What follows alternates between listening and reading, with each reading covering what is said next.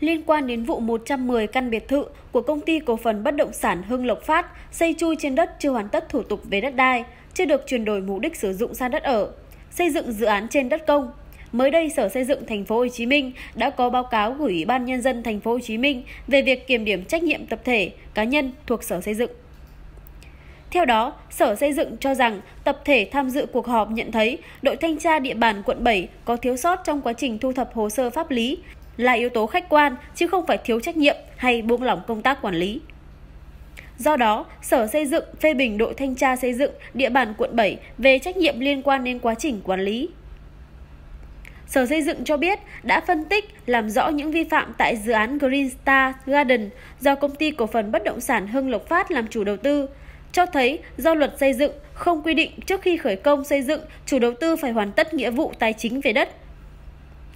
Đội thanh tra địa bàn quận 7 đã kiểm tra trật tự xây dựng từ giai đoạn ép cọc thử tải dãy nhà cao tầng đến khởi công khu nhà ở thấp tầng. Tại thời điểm kiểm tra, đội thanh tra có yêu cầu chủ đầu tư thực hiện đầy đủ các điều kiện khởi công theo luật xây dựng. Tuy nhiên, trong quá trình kiểm tra, đội thanh tra chỉ chú trọng kiểm tra điều kiện khởi công, quy chế quản lý kiến trúc đô thị và bản vẽ được phê duyệt.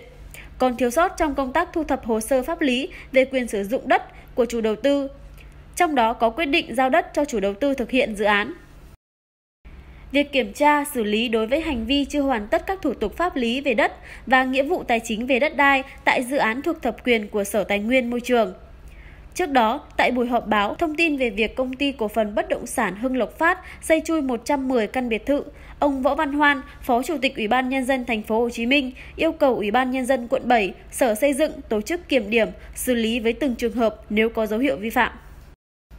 Tại thời điểm dự án này vi phạm, ông Lê Hòa Bình, lúc đó là Chủ tịch Ủy ban nhân dân quận 7 và hiện nay là Giám đốc Sở Xây dựng thành phố Hồ Chí Minh.